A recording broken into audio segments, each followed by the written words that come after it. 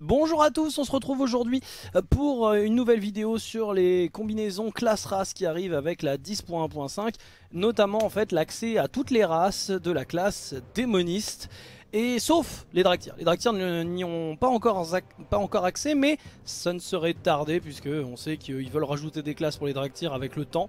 Donc nous verrons et il y a de grandes chances qu'ils puissent faire démoniste euh, puisque on a ajouté euh, druide, on a ajouté euh, pardon, moine, guerrier voleur, prêtre, mage à toutes les races. Il y a de grandes chances et eh bien qu'on puisse faire de même avec les Draktyrs avec le temps. Dans tous les cas, je voulais faire un petit préambule à cette vidéo puisque on a fait déjà pas mal de vidéos, notamment de débunkage sur les idées reçues que les joueurs se font des classes vis-à-vis du lore, bien entendu, et euh, de, tout ce qui concerne les classes, les nouveaux combos qu'on avait euh, évoqués, notamment chez les moines. Donc ça je vous les mettrai dans la description ou sinon dans les fiches. Mais euh, voilà, je vais surtout rappeler un petit truc. Je suis une personne assez ouverte d'esprit Même si parfois vous m'entendez râler Donc vous dites que je suis euh, totalement intolérant. Euh, Quand vous me connaissez un petit peu et que vous cherchez à comprendre mon point de vue Je pense que je suis une personne assez ouverte d'esprit. Les classes, vis-à-vis -vis des classes en plus Ça représente rarement parfaitement le lore et la possibilité des races. Donc Là-dessus, je suis rarement réfractaire. On va pas se mentir, je suis plutôt, euh, pour avoir débattu avec certains d'entre vous, je suis plutôt, je suis plutôt ouvert d'esprit à ce niveau-là. Euh, c'est toujours un peu la difficulté, hein, un des grands dangers de la nouveauté, quelque chose de nouveau, c'est de nous envoyer directement dans une espèce de guerre de position, une guerre de tranchées où il va y avoir le camp du non et le camp du oui. Et euh, on, a rarement de la nuance dans ce genre de cas de figure. Ce qui est intéressant d'ailleurs, c'est que ce qui est neuf au final va effrayer puisque ça bouleverse, hein, le changement bouleverse nos habitudes, euh, bouleverse notre routine. On s'est habitué à une certaine routine et donc eh bien c'est vrai qu'il y a une espèce de, de jugement quand une, quelque chose de nouveau arrive, eh bien on va sortir la loupe et on va euh, vérifier comme ça, est-ce que ça paraît légitime, est-ce que ça paraît ok Alors que très souvent cet exercice n'a pas été fait pour l'ancien en fait, hein. est-ce que c'était légitime? On se pose rarement ce genre de cas de figure, on a essayé de le faire dans pas mal de vidéos de classe, notamment des débunkages, euh, et à l'inverse, ça c'est plutôt généralement le camp du non, le camp du non, enfin on va tous sortir la petite loupe pour voir si c'est ok, mais généralement c'est euh, le camp du non, en fait. Très très vite on va construire une digue, un mur en mode ah non non non non non ça c'est pas mon leurre, ça détruit tout, n'importe quoi, etc.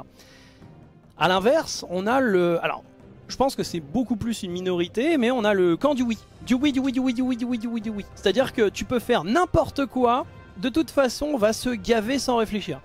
On va... Il euh, y, a une partie de, joueurs, euh, de consommateurs on va dire, qui va euh, vouloir se gaver même si ça n'a aucun sens. C'est oui, c'est oui, c'est oui, c'est oui. Euh, et je pense encore une fois, et c'est le but de cette chaîne, que ce soit Twitch ou YouTube, c'est d'essayer toujours d'apporter de la nuance, de garder du recul. Je pense que c'est indispensable sur ce genre de questions, notamment au niveau du lore, d'essayer de prendre des pincettes et de toujours prendre du recul sur les nouvelles informations, les a-t-on confrontés avec l'ancien, pour voir justement si c'est ok, si c'est pas ok. Et dans mes différentes vidéos sur les classes notamment, euh, en prenant du recul, en regardant ce qui avait pu se passer un petit peu des classes, des, anciens combos classe-race, on a vu qu'il y avait personne qui avait été choqué par les druides taurennes. Et en soi, qui serait choqué des druides taurennes? Eh bien, druides taurennes, sur le papier, ça a l'air tout à fait légitime. Quand tu lis l'explication de, des druides taurennes, ça n'a aucun sens. Euh, je vous rappelle quand même que c'est Malfurion qui en 3 ans a appris le druidisme aux taurennes, et du coup t'as Amoul qui euh, bombardait archidruide en 3 ans. Je rappelle que les elfes de la nuit, hein, euh, les plus jeunes, enfin, espérance de vie minimum 10 000 ans, hein, 3 euh, ans de formation. Euh, je veux dire, c'est même pas une journée d'intérim pour eux, quoi, hein, 3 ans. Donc, personne n'a été choqué de l'explication de Druid Torren, comme j'en ai parlé dans, différentes vidéos par le passé. Les prêtres et pas là d'un nain. Tout le monde est en mode c'est ok, alors que je vous rappelle que les nains, leur dieu, leur divinité, ce sont les titans. Euh, donc la lumière, tout ça, tout ça. Alors oui, il y a des titans qui sont proches de la lumière, mais c'est pas, euh, ça fait pas, ça en fait pas pour autant des trucs de la lumière. Donc, euh, sachant que les humains vénèrent pas vraiment les titans, vénèrent une espèce de, lumière, on va dire de lumière non centralisée. Donc les nains, eux, bah, c'est pas dans leur culture en fait, tout simplement. Donc c'est arrivé en mode YOLO à Vanilla parce que bah, il fallait quand même des classes prêtres, il fallait pas que les humains aient le monopole du paladin. Donc, euh, bah, pas, ça a choqué personne parce que le temps a fait son œuvre. Le temps a très bien fonctionné. Ça choque plus. On n'a pas ce recul sur les combos classe race qu'on a pu avoir avec le temps. Et en plus, les nains, il n'y a même pas d'explication hein, pour le coup. de toute façon, les, nains, on, sent pas les couilles. Hein. J'ai fait une vidéo sur le sujet. Du côté de Blizzard, hein, les nains, euh, ce serait, serait dommage. Dommage de commencer à s'y intéresser. Donc, au final, c'est pour ça qu'il faut toujours garder du recul, parce qu'il y a des choses qui ont été faites par le passé qui sont pas forcément euh, meilleures que ce qui a été fait, ce qui arrive en nouveauté, et que parfois, bah ouais, il faut sortir un petit peu l'ancien de son piédestal, enfin, de, faut le descendre de son piédestal parce que c'est pas forcément toujours terrible. Donc, voilà, maintenant que ce préambule est fait, attaquons les nouveaux combinaisons classe race pour les démonistes. Commençons par le plus simple, je pense, celui qui sera le moins polémique de tous les sujets euh, pour le combo classe race, c'est les Andalari. Euh, c'est quand même assez tranquille, hein, on va monter crescendo. Les démonistes en euh, ça a toujours été étrange de ne pas les avoir euh, quand les trolls l'avaient de base. Et qu'on sait qu'en fonction du Loa, les prêtres trolls vont avoir des pouvoirs divers et variés en fonction du Loa. Je veux dire, le Loa royal à l'heure actuelle, c'est Boine Samedi, un Loa des ténèbres, hein, un Loa de magie noire. Donc euh, bon, hein, le démoniste, euh, euh, c'était assez étrange, sachant que les, je rappelle que même les sombres lances et les andalari, surtout les sombres lances, mais même les andalari vénèrent des divinités obscures. Iric, alors Mouzala, hein, il a perdu beaucoup, il a perdu beaucoup, mais Buon Samedi, Mouzala, Iric, Chatra, etc. On en a des lois, des sombres que les andalari vénèrent, donc en soi, je pense que c'était surtout du gameplay en fait, euh, parce que le truc c'est que sinon les Andalari ils ont accès à toutes les rats, enfin à toutes les classes, sauf chasseurs de démons évidemment, mais en dehors de ça, bah, ils avaient accès à toutes les classes. Donc je pense qu'à BFA on a eu cette optique de calmer un peu le truc parce que bah, ils avaient vraiment tout. Ils ont druide, ils ont paladin, ils ont chaman, euh, si on leur met démoniste, ils ont juste tout. Donc euh, je pense que c'était ça le frein en fait pour les mettre parce que il n'y a aucun problème à avoir évidemment des démonistes, euh, des démonistes Zandalari. Je rappelle également aussi que démoniste c'est une traduction très arbitraire et très moyenne en français de Warlock. Hein. Je vous laisse aller voir la vidéo des classes là-dessus, puisque en anglais c'est Warlock, et Warlock c'est juste un sorcier, un sombre sorcier, un sorcier qui est versé dans la magie noire. La magie noire, c'est pas que les démons. Là où démoniste suggère démon. Euh, nous avons aussi bah, tout ce qui est euh, magie de la mort et magie euh, du vide, magie des des takoyaki quoi, hein, magie des dieux très anciens, tout ça, tout ça. Donc c'est toute la magie noire sous ces trois formes, pas forcément juste les démons, pas juste de la démonologie qui est d'ailleurs une spé du démoniste. Nous avons ensuite euh, donc les taurennes démonistes. Alors taurennes démonistes, ça a gueulé. Enfin, j'ai vu des gens lever des sourcils, mais en soi, pas tant de, pas tant de gueulantes que ça. On commence un peu plus à attaquer les, premiers sujets un peu polémiques. Taurennes démonistes, est-ce si inimaginable que ça? On sait que Warlock, euh, démoniste, c'est un fourre-tout magique, comme je l'ai évoqué, un magie noire, tout ça, tout ça. Donc, est-ce que justement, eh bien, on n'aurait pas des cas de figure où des chamans sont devenus des démonistes? Si, euh, chez les orques, le plus connu, c'est, euh, bah, vous avez Gul'dan évidemment, mais moi celui auquel je pense avant tout, c'est surtout Ner'zhul. Parce que, euh, bon, Gul'dan c'est vraiment le démoniste pur, hein, mais Ner'zhul, bah, par exemple, lui c'est plus un warlock plutôt versé dans la magie de la mort, pas vraiment dans la magie démoniaque. Donc il nous manquerait un orc euh, chaman qui devienne un, warlock euh, du vide et on aurait euh, les trois grands exemples on va dire. Et donc bah, c'est vrai que on, a, souvent dans, ces classes qui sont vraiment très arrêtées, on met une case, il y a souvent l'entre-deux et l'entre-deux bah, c'est le sombre chaman, hein, la transition entre chaman et warlock. Et euh, bah, au final, c'est vrai qu'on a des exemples à ce niveau-là pour, ce qui est des taurennes. Notamment bah, l'image que vous avez, le personnage que vous avez ici, Magata Grim Totem, hein, euh, Magata, Totem Sinistre, euh, et la plupart des totems sinistres, hein, la plupart des Grim Totem, ils ont une utilisation du chamanisme qui est qui est très sombre, hein, qui est très très très très sombre. Donc, et sachant qu'ils rejoignent aussi Garrosh, ils rejoignent, ils soutiennent Garrosh à Cataclysme même s'ils ne sont pas vraiment... Enfin, une partie est officiellement encore dans la horde, l'autre a été chassée. Bah, c'est vrai que les sombres chamans, euh, bah, c'est un truc que Garrosh adore, ça, hein, euh, à Cataclysme. Donc, non, non, les sombres... Enfin, Warlock, sombres chamans, ça marche très bien à ce niveau-là. Donc, euh, Magata, il n'y a pas vraiment de problème à ce niveau-là pour les taurennes normaux. Alors pour ce qui est des taurennes Auroch, alors je sais vous allez me dire, bah, il n'y a pas le bois, etc. Oui, c'est les Auroch avant qu'ils aient les bois, mais c'est bien un Auroch, hein, cette image. Euh, en l'occurrence, les Auroch, c'est juste des taurennes normaux avec des bois euh, différents. Globalement, la culture est la même, on s'est pas fait chier là-dessus. La culture, c'est la même. La découpage, euh, le découpage hiérarchique, c'est les mêmes, avec une union des tribus, etc. Donc à ce niveau-là, on n'a pas vraiment de différence. Et les Auroch ont aussi leur tribu Grim Totem à eux. Hein. C'est tout simplement les Blood Totem, les totems de sang, qui deviendront les Fel Totem, les Gangre Totem. Tous ne sont pas devenus des Fel Totem. Donc les Blood Totem sont toujours euh, au final disponibles chez les Auroch et aussi dans la Horde, puisqu'ils font partie de la Horde.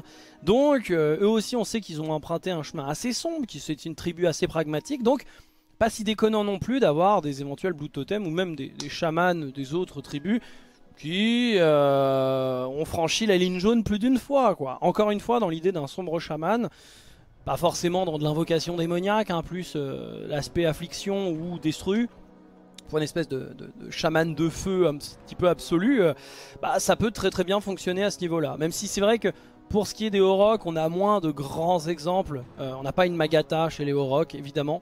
Donc c'est un petit peu plus dur mais ça marche, il euh, n'y a pas de problème. Les elfes de la nuit, attaquons les elfes de la nuit, c'est un petit peu chaud là les elfes de la nuit. Ah, là j'ai vu, euh, et c'est toujours assez intéressant, euh, en 2018 je vous aurais dit oui c'est n'importe quoi, mais en 2018 bah, je ne connaissais pas assez l'arc exceptionnel des Chendralar d'Eldretalas qui est un arc de Vanilla qui a été poursuivi à Cataclysme et qui sera la justification de l'arrivée des elfes de la nuit mages en tant que classe jouable. Et honnêtement, eh bien, on va beaucoup en reparler quand on travaillera sur Légion avec Evanescor. Mais euh, c'est un sujet exceptionnellement intéressant. Je lui ai consacré une vidéo avec Eva, on lui a consacré une vidéo, bah c'est celle-ci, hein, vous avez la miniature. Donc les chaînes Ralar, c'est super intéressant. Et les chaînes Ralar, bah, euh, globalement, ils vont beaucoup inspirer les Sacres Nuits. Enfin, c'est même pas de l'inspiration, c'est du plagiat à ce niveau-là. Euh, puisque les Sacres Nuits, c'est les chaînes Ralar, mais en version euh, Horde, au lieu de version Alliance. Et au final, bah, les chaînes Ralar, c'est des utilisateurs de magie arcanique, mais aussi de magie sombre. Donc en soi, et les Chendralar font partie de l'Alliance, on rejoint les bien-nés euh, d'Eldred Talas, on rejoint les Elfes de la Nuit de Tyran des Malfurions, donc à ce niveau-là, on n'a pas de soucis. Euh, évidemment, bien sûr, leur magie est strictement contrôlée, canalisée, on va pas leur laisser faire n'importe quoi, mais on est, euh, ça reste pas inexistant.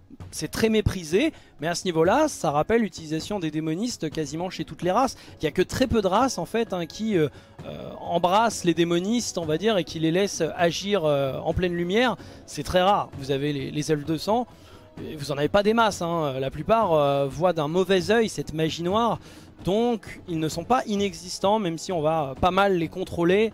déjà que les magiciens sont contrôlés, les démonistes, euh, eux aussi, vont, on va les calmer quoi, on va les calmer. Je vous rappelle qu'il y a un autre cas de figure aussi chez les elfes de la nuit, ce sont les chasseurs de démons.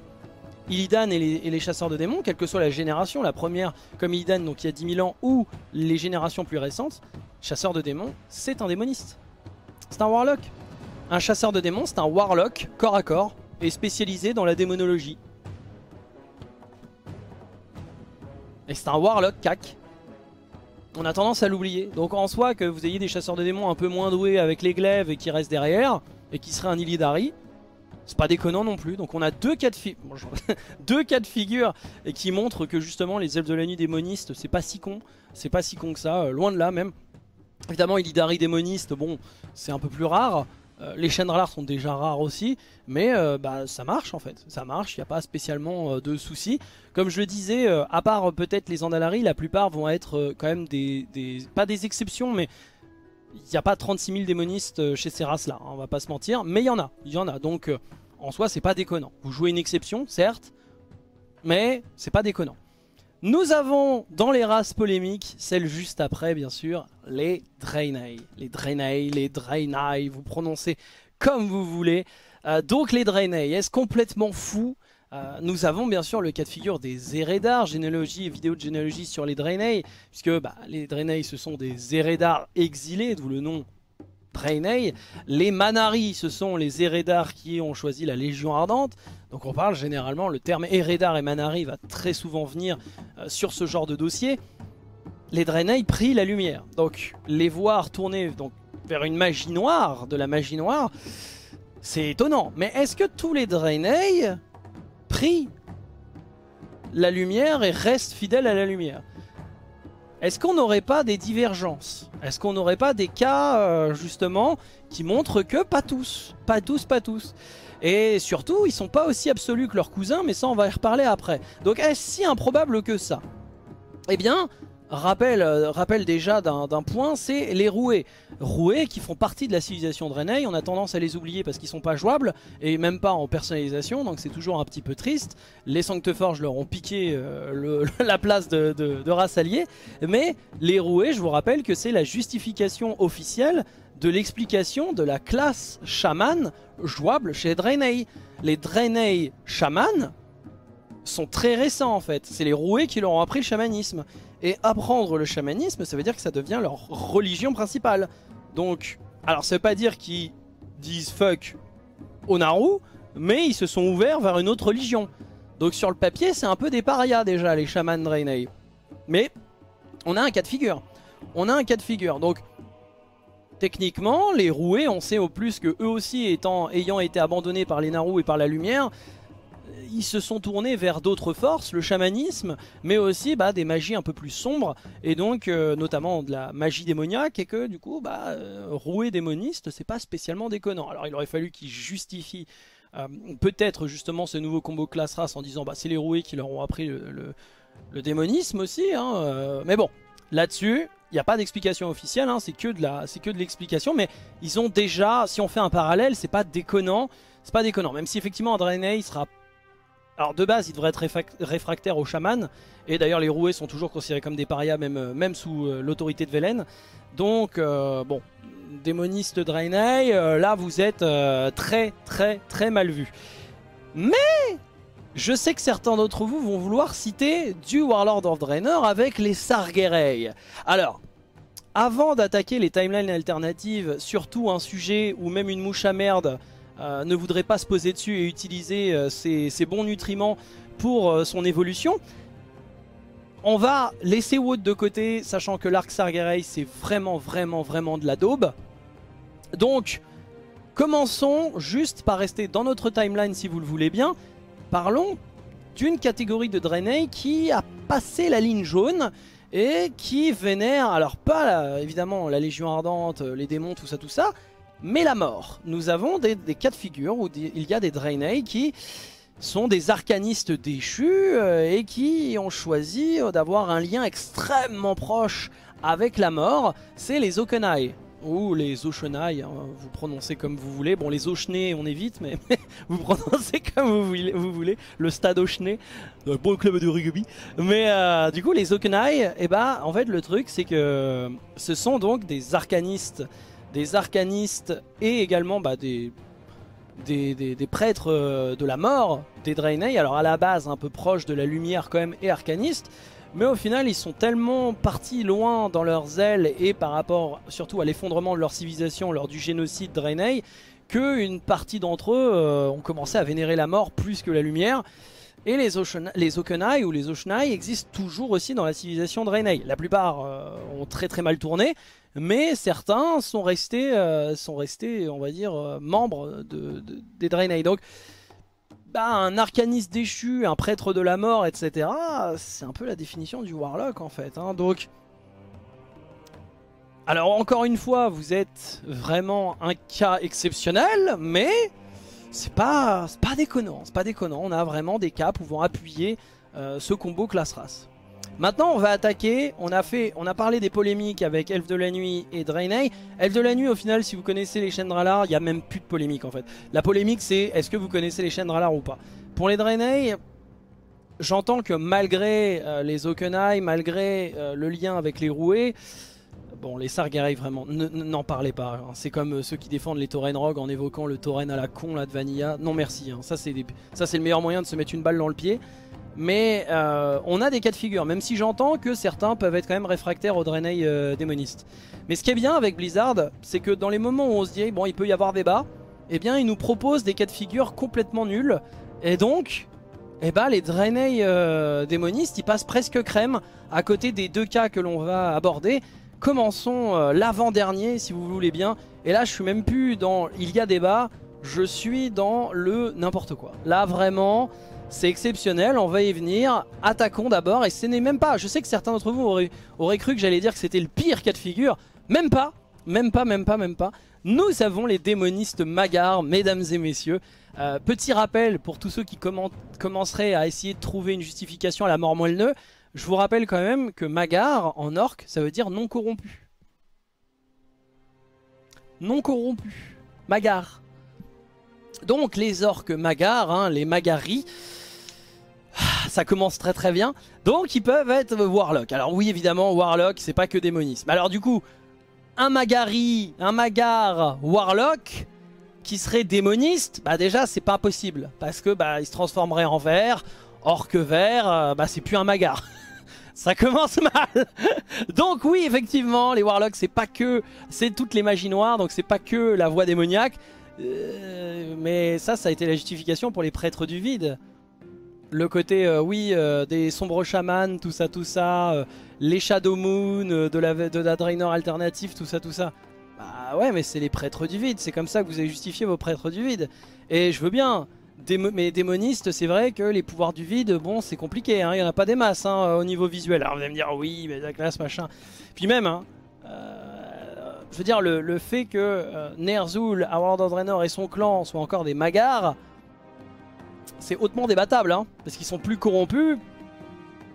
Ils sont corrompus, hein, donc euh, techniquement, alors c'est juste que Wood c'est une extension à la con, donc forcément ils ont même pas abordé ce sujet, mais techniquement ils sont corrompus, hein, euh, ils sont plus, euh, ils sont plus magars justement, ils sont plus non corrompus. Et enfin, bah, donc on parlait du vide, il y a aussi la mort, parce que bon, à Wood c'est techniquement c'est un, c'est un globi-boulga entre magie de la mort et magie du vide, mais ça fait quand même, je, enfin, à partir du moment où on se rappelle que Magar veut dire non corrompu, démoniste, c'est très compliqué à partir du moment où toutes les magies noires, quelle que soit sa forme, quelle que soit, que soit magie du vide, magie démoniaque ou magie de la mort, ça corrompt en fait. Ça corrompt, c'est le principe de la magie noire. Il y a une forme de corruption qui euh, est corrélée à l'utilisation de son, emploi. Donc, Magar non corrompu, démoniste, bah non, juste non. Si vous voulez faire un, un magar démoniste, bah faites un orque vert démoniste, pas, euh, un magar. C'est tout le principe. C'est vraiment très très naze, hein. c'est très très naze. Mais il y a pire que les magars corrompus, hein, ce qui n'a aucun sens. Hein. Je, suis en train de vous dire, les non corrompus corrompus, quand même, c'est extraordinaire.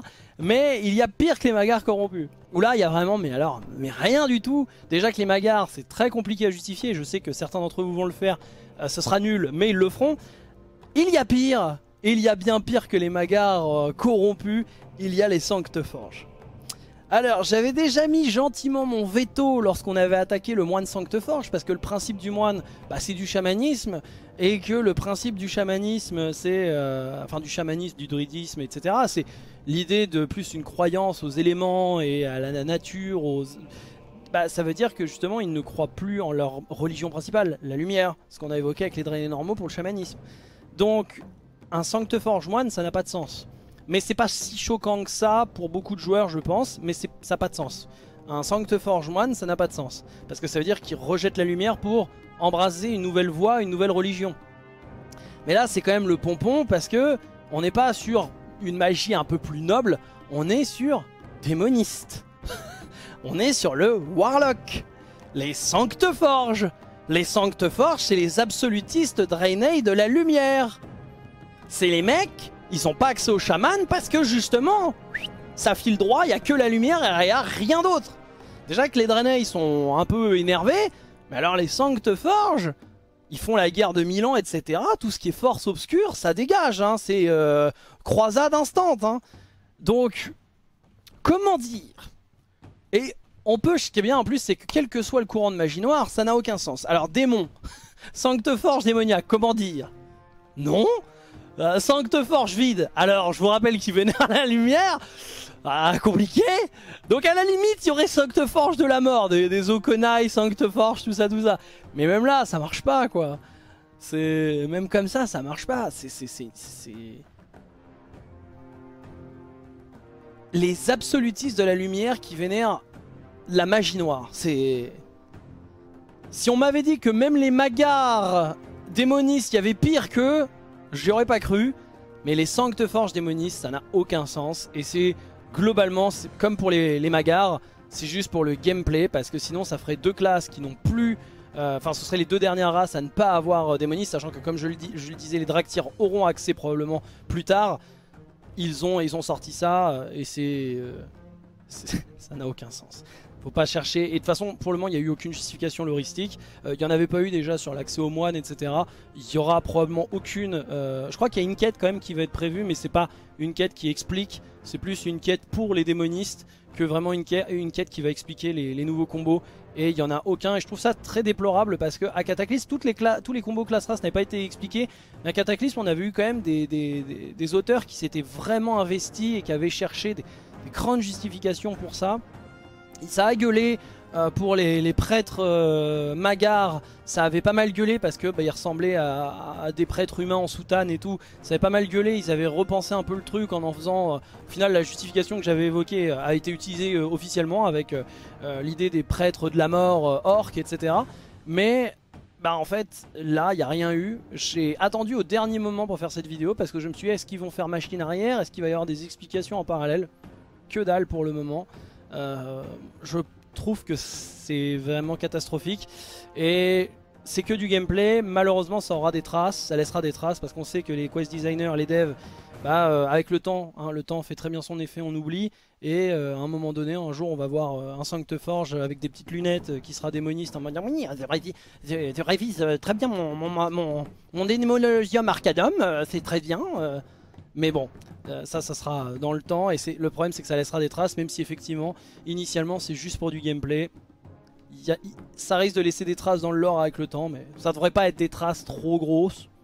Pour les magars un peu plus je pense mais euh, nous verrons.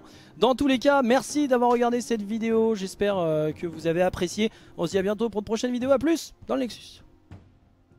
Trompé de scène.